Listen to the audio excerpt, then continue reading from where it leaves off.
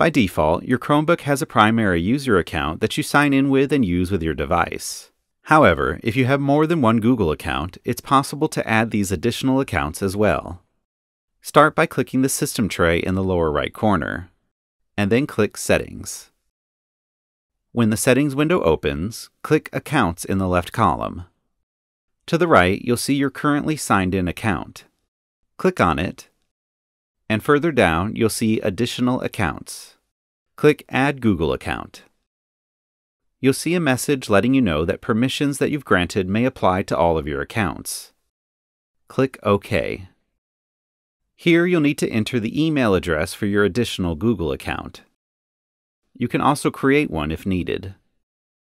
Once you've entered your email, click Next.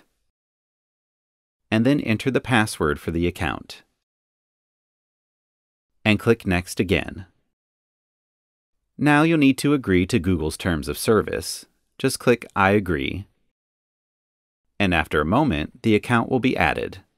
You'll now be able to use it on your Chromebook.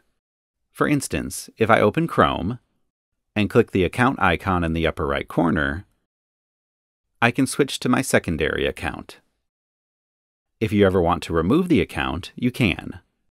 Just click the three dots to the right of the one that you want to remove, and click Remove this account.